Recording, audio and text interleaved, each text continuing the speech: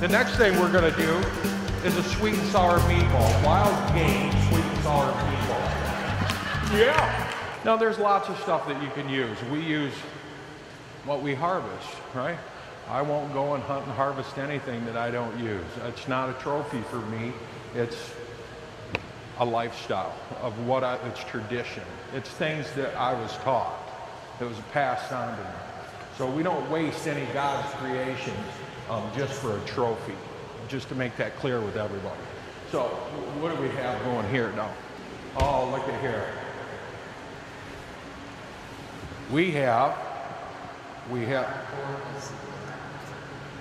ground pork and ground turkey. And believe me, it makes for a great combination. We're gonna start with a big bowl. We're gonna put our meat in here. Turkey's very lean. The next couple days, it'll be turkey season. I'm gonna take it, I'm gonna mix this up just a little bit. It'll be turkey season in the state of Michigan.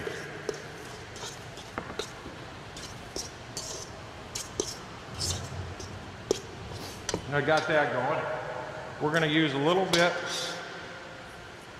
of onion that's been diced. Quarter cup. Right? Green pepper. Green pepper. A little bit of that. We have some minced garlic. Hit the garlic in there. Bell pepper, red bell pepper, right? Presentation, color, and the sweetness and texture of that pepper.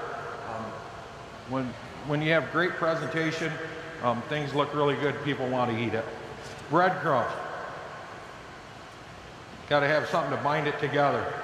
And we're going to crack an egg and put it in there. So that's probably good there. We'll crack an egg.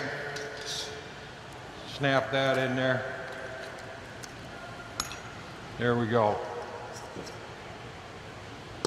I'm going to mix all this together. I have a website, unclemillie.com. You can get on there and see some of my wild game recipes. I have different spices, and sauces that are available. And uh, in the days to come, you'll see me do quite a bit of cooking in there. I'm going to try to do a couple recipes a week. And I will, instead of a pinch of this and a dash of that, I'll try to get it down where I have a tablespoon of this, a cup of this, right?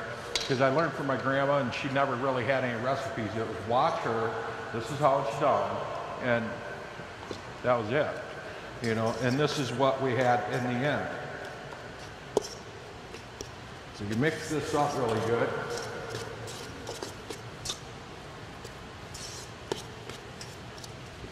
Now, I need a little bit of salt, a little bit of pepper.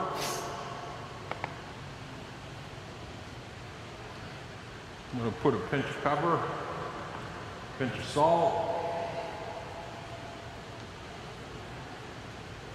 Just like that. Now, I also like to use just a little bit of this.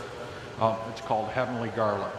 And so I'm going to put a little bit of that in there. This is on Uncle Millie's website, available also in the back of our booth just a little bit. This really makes a really nice dip too. And also the horseradish seasoning that I have. Add that to a little bit of mayonnaise, mix it up. It's really good. All right. Try to mix this up thorough.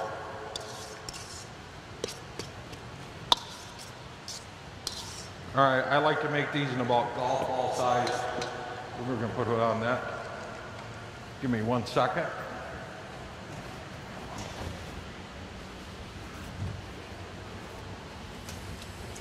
Hands washed up.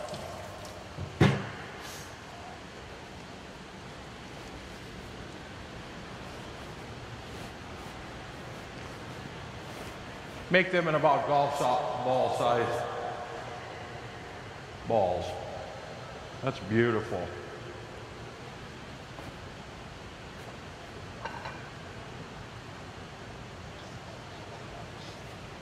Now the next thing, as he's doing that, I'm going to tell you about how I make a little sauce for them.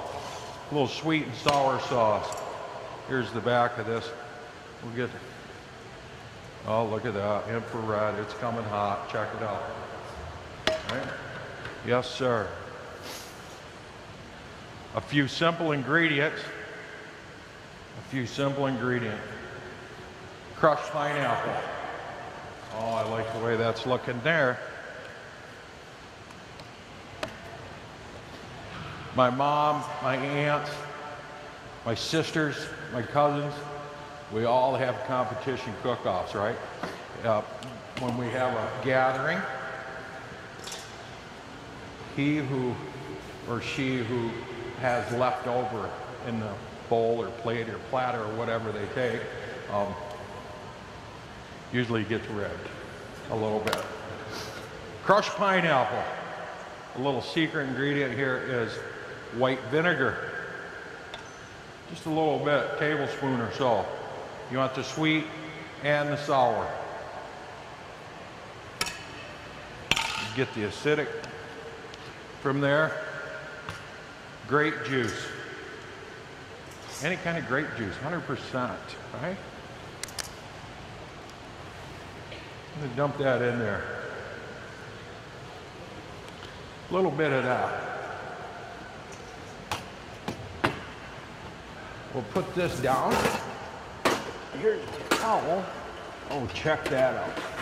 got a couple spoons. Oh yeah. Look at this. Look at the finished product here for what he done. Thank you. That's cool, right? Never usually have an assistant like that. That's right. Thank you. Thank you. Thank you. Yeah. All right, we're going to put these in the oven. Root vegetables, meatballs, all go right in there.